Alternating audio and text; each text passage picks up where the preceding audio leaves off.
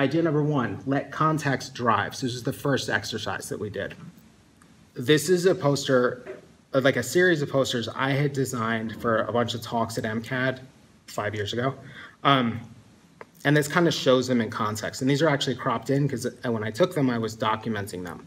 So I was putting these up and they look really nice. They're like, we're very clean and contrasty, but at the same time, somebody put these up. When I saw these, I was jealous. Now, they're not pretty. Definitely one of my concerns in the posters I was making was I want these to have a life after they're hung. So like I want it to be something that's also beautiful in your house, like that would look like bookish. But this person killed me on the context front because uh, their big, reckless, kind of crazy screen print, like on a rip sheet of paper, is not in the same area, was disruptive every time it was up. Like in this one, you can actually see, like, there's my poster and there's that thing. What are you looking at? Like, even if you don't want to look at that, you're looking at that. And I don't know the degree to which they were really thinking this through. They probably were like, let's just print it on a roll of, of newsprint because that'll be easy. But in context, it totally wins because of the way it dominates a space and how informal it is. You know, when I saw that, I was like, man, I wish I had been hanging up blank sheets of paper first to understand what I could have done in the space to really make something that could still be formally beautiful, but also work really hard, um, which is where that context thing comes from. Like, you know, if you have to do a, like as a graphic designer, it's so typical that you design a poster and you just sort of design it because it looks good or you like it or whatever. And then you see it out in the world and you sort of realize like, oh, everything is too small. Or that really doesn't work at a bus stop. Like literally no one, except for the five people that are weird enough to read the posters at a bus stop, are paying attention to it. So like it loses on that context front.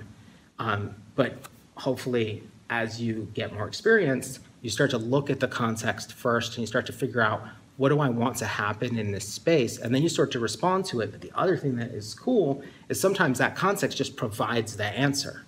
Like the um, looking at the looking at the store and knowing that the goal is to disrupt the space and take it over in a dramatic fashion, it's like the context did all the work there. No one had scrap.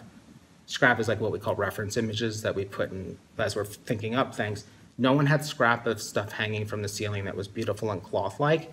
We found that after we had the idea, in order to sort of like start to do this process, of okay, what does that look like? Somebody goes on Pinterest and looks for art installations with stuff hanging. Like, that's the material we want. So all of a sudden, like the context dr drove the whole conversation. So to break that down a little bit, the first thing, identify the goal. So the way we did it is like we loosely identified the goal. We're going to do an art project in the building. In reality, we probably want to be more specific so that's why I say maybe, because maybe you don't identify the goal. Maybe you just go like, I want to do something in a pond.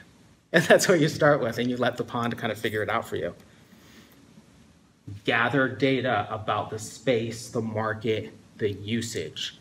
So for something that's like commercial, like graphic design, you want to understand the space, you really do need a goal, and then you want to understand like how do people use and interact in that space. So next time I do a poster series, I want to think really hard about that environment, about how people come through it, about how I can get out of it, but not have my stuff get torn off the walls because it's like out of bounds or whatever. And I just made a note about this, but also about the market. Um, I think if anyone has read, one of my favorite books is um, Growth Hacker Marketing by Ryan Holiday. Like kind of influences everything I do. He talks a lot about no matter what you're doing, whether it's writing a book or starting a company or making a piece of art, trying to identify as much as you can about the context in order to make something that either fits in it perfectly, like effortlessly, or kind of destroys it. And he works with a lot of writers doing book marketing. they try to get in at the very beginning as the book is being started in order to start figuring out what are the contexts that this thing needs to work in uh, so that it's doing its job rather than finishing the thing and then trying to convince everyone to like it. Uh, one of my favorite stories is like um, Tim Ferriss, the guy that wrote the Four Hour Work Week, how he tested covers was via via the context he made fake book covers and he'd wrap them around things on, on the hardcover book table at like a Barnes and Noble, and they'd sit in the Starbucks on a Sunday and just watch whether people picked it up or not. But he would just track like that cover didn't even get picked up at all. Um, so he'd look at the context uh, and use that to try to make a decision about what to do in the end, which I think is super interesting. It's definitely more thought than I've ever given to virtually anything it kind of shows like you can take that idea and you can really stretch it out across things. Like you could use it for making an impactful art installation or determining what thing, like what movie to make next.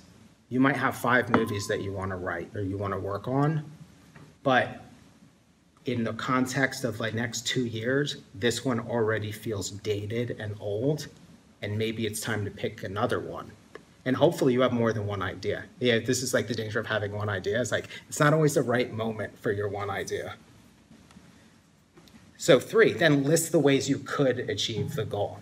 I think could is like the most critical word. I think should is the word you should not use. Like don't use should, use could. Like could is like non-committal, which I think in terms of coming up with ideas is great. Like a sort of constant with me in terms of like talking about creative work or talking to a student that's like stuck on a project, just to not say like, okay, what are your ideas, but just gonna be like, just make a list of everything you could do.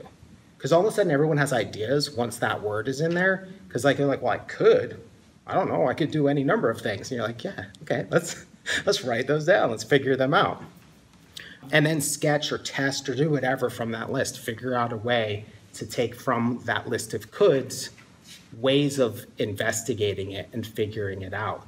You know, like our art project, you know, it could be pencil sketches could be the way to figure it out. It could be talking to an architect.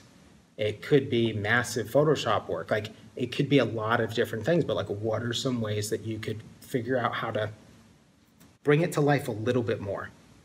Not be super attached to it unless you want to be, but just start to investigate okay, this is what would happen. Now, what's the next thing that happens? You know, if I turn it into a rock climbing wall, does it actually get used? What are the potential problems that come from that? You start to kind of like drill down into it a little bit.